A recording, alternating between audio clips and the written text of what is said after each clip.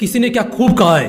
रात रात भर जाग कर पढ़ना शुरू कर दो, क्योंकि किस्मत के तारे भी तभी चमकेंगे जब नींद अधूरी होगी। आज के टाइम पर किताबें महज दिखावे के लिए बच गई हैं। उन्हें पढ़ना कोई नहीं चाहता।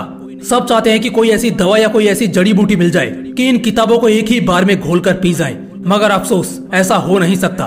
पढ़ाई ना करने के पीछे लाख कारण हो सकते हैं। दिन भर टीवी देखना, गेम्स और इंस्टाग्राम पर अटके रहना, सोते रहना या किसी की याद में रोते रहना। ऐसे हज़ारों कारण है पढ़ाई ना करने के पीछे। लेकिन एक ऐसा कारण भी है जो इन सभी कारणों को रिप्रेजेंट करता है। इनफैक्ट इन सभी कारणों का बाप है और वो कारण है पढ़ाई में मन ना लगना। ये सबसे बड़ा रोना है जो देश का लगभग हर स्टूडेंट रोता है कि वो पढ़ना तो चाहता है, लेकिन उसका पढ़ने में मन नहीं लगता, पढ़ने का मन नहीं करता। एक बात हमेशा याद रखना दोस्त, तेरे जीवन में अगर किताबों का घोल होगा, तभी तेरी ज़िंदगी का कोई मोल होगा। इन सभी बातों को समझता हर कोई है, लेकिन बावजूद इसके इस मसले का हल नहीं जानता। तो आज के इस वीडियो में मैं आप सभी को पाँच ऐसे रामबान टेक्निक से इंट्रोड्यूस कराऊँगा, जिन्हें अगर आपने समझ लिया तो आपकी स्टूडेंट लाइफ न सिर्फ़ बेहतर होगी, बल्कि आपके लिए पढ़ाई बहुत ज़्यादा इंटरेस्टिंग और मज़ेदार भी हो जाएगी। Point number one stay motivated internally हमेशा अंदर से मोटिवेट रहो। जब तक शरीर में मोटिवेशन न हो, तब तक शरीर बेजान लगता है। ऐसे में पढ़ाई जैसे फैक्टर को आप नजरअंदाज नहीं कर सकते। जब तक आपके शरीर में एक ऊर्जा, एक जोश नहीं होगा, पढ़ाई तो क्या दुनिया के किसी भी काम में आपका मन नहीं लगेगा। तो ऐसे मोमेंट में सबसे पहला काम आपको यही करना है कि आपको अंदर से, यानी कि दिल से मोटिवेटेड रहना है। इसलिए जब भी आप पढ़ने बैठे, उससे पहले कोई मोटिवेशनल कहानी पढ़े। और सबसे अच्छी सलाह मेरी आपको यही रहेगी कि आप अपने सिलेबस को पढ़ने से पहले एटलीस्ट कुछ मिनट डेस्क पर रखी हुई किसी इंस्पिरेशनल बुक के कुछ पन्नों को ज़रूर पढ़ें, या फिर एक मोटिवेशनल वीडियो ज़रूर देखें। उसके बाद पढ़ने बैठे। इससे आपके अंदर इतना तो मोटिवेशन जाग ही उठेगा। जिससे आप अगले एक घंटे तक अपना ध्यान पढ़ाई में लगा सकोगे। और अगले एक घंटे बाद सेम पैटर्न आपको फिर से फॉलो करना है। दोस्तों मोटिवेशन हमेशा के लिए कभी नहीं टिकती। इसे लगातार बरकरार रखना ही पड़ता है। Point number two purpose of study find करो। अपने पढ़ने का उद्देश्य खोजो। चाहे एक रॉकेट की रफ्तार हज़ारों किलोमीटर प्रति घंटा क्यों ना हो, लेकिन अगर उसे उसकी मंजिल नहीं पता है तो उसकी यह रफ्तार बेकार है। ठीक इसी तरह, आप पढ़ने में कितने भी अच्छे हो या बुरे हो, आप ज़्यादा से ज़्यादा पढ़ते हो या बिल्कुल भी नहीं पढ़ते। लेकिन अगर आपको नहीं पता है कि पढ़ने के पीछे आपका असली मकसद क्या है तो पढ़ाई की भूख कभी नहीं जागेगी।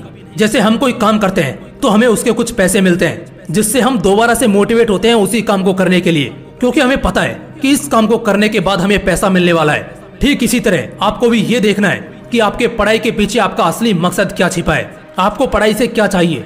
जवाब तो लाखों में है। एक बेहतर ज़िंदगी, बेहतर life style socially financially and mentally मज़बूत होना, और भी बहुत कुछ। और सबसे खास, अपने माँ बाप की उम्मीदों पर खरा उतरना।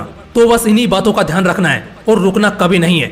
इन चीज़ों को लिखना है और पढ़ने से पाँच मिनट पहले इन सभी को दिल से पढ़ना है। Point number three make your mood sign and syllabus fine अपना मूड यानी अपनी मनोदशा ठीक रखो। पढ़ने का दिल तब करेगा जब दिल खुश होगा। और पढ़ाई को तुम बोझ की तरह नहीं, बल्कि अपॉर्चुनिटी की तरह देखोगे। जब मूड खराब होता है तो हमारे रिश्तों को भी उजाड़ देता है। तो ये पढ़ाई क्या चीज़ है? इसीलिए अगर पढ़ना चाहते हो तो सबसे पहले अपना मूड सुधारना है। हँसते, खेलते, चमचमाते से चेहरे के साथ पढ़ाई की शुरुआत करनी है।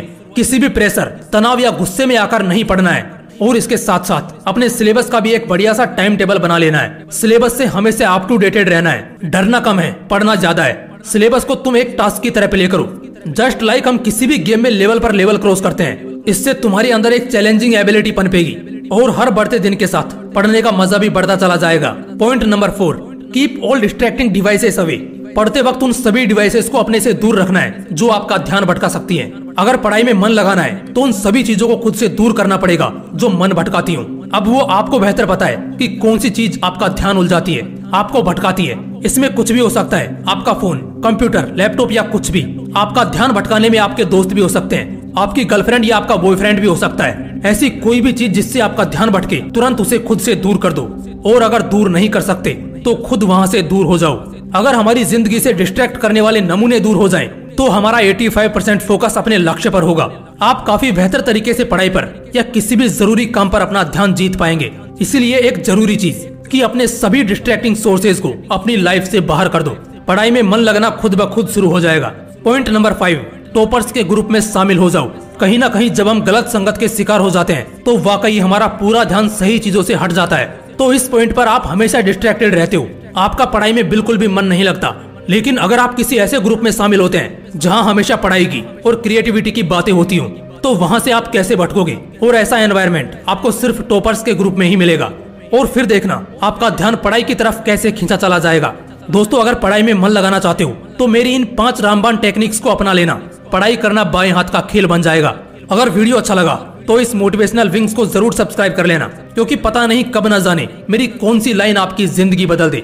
मिलते हैं नेक्स्ट वीडियो में। जय हिंद, वंदे मातरम।